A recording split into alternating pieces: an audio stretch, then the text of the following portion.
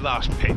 I hope you've enjoyed that one. Me literally starting at half past seven in the morning, walking around Wellingborough Lakes, coming round Rushden through Irchester, then walking the dismantled railway line on the way back.